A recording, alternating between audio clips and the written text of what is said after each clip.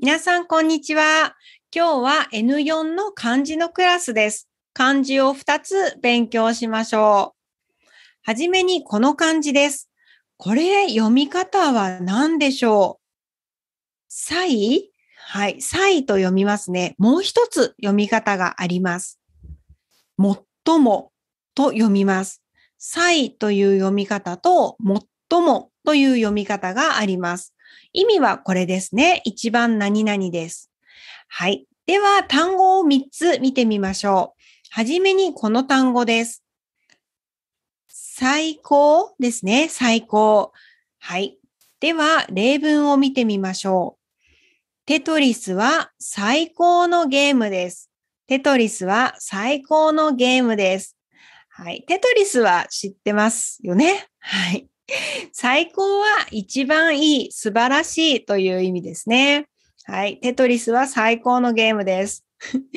じゃあ次です。最近、最近と読みます。最近、友達と話しましたか？最近、友達と話しましたか？ですね。はい。これはどうでしょう最近っていうのは、まあ、今の近くの時間ですね。まあ、これ、recently ですね。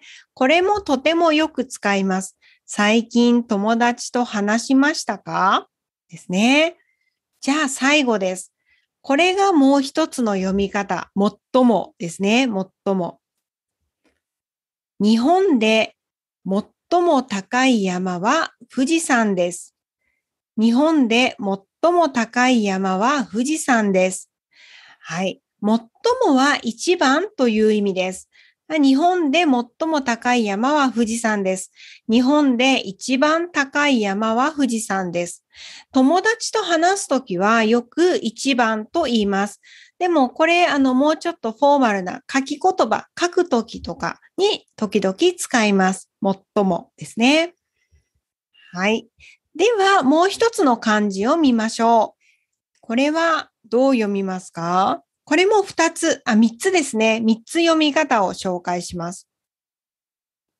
小とそうと愛という読み方です。はい。では、これも単語を見てみましょう。はじめにこれです。これはどう読みますか？相手と読みます。相手。今日の相手チームは強そうです。今日の相手チームは強そうです。はい。これどうでしょう？今日の相手チーム。チームだからなんか私のチームと相手のチームですね。はい。これ、パートナーの意味と、このオポネントの意味があるんですけど、まあ、チームだったら、私のチームと相手のチームですね。だから、あの、私じゃないチームの意味ですね。じゃあ次です。相談です。相談。LINE で友達に相談します。LINE で友達に相談します。ですね。はい。相談しますは、あの、何か私は心配なこと、困っていることがありますから、友達のアドバイスが欲しいです。その時に相談しますを使います。友達に相談しますは、友達のアドバイスが欲しいです。はい。では次です。首相と読みます。首相。これ読み方を覚えるのが難しいんですけど、首相ですね。はい。イギリスの首相が来日します。イギリスの首相が来日します。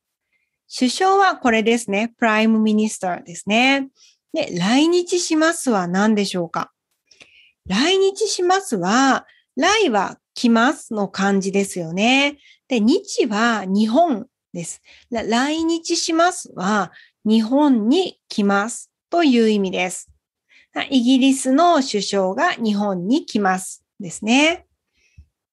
はい。いいですか？では最後にレビュークイズをしてみましょう。二つ、今日クイズが二つあります。世界で高い山はエベレストです。はい。これ読み方覚えてますか？世界で最もですね。4番です。世界で最も高い山はエベレストです。じゃあ次です。彼氏と喧嘩して友達に、彼氏と喧嘩して友達に相談したですね。はい。2番の相談したを使います。はい。どうですか？クイズもできましたか？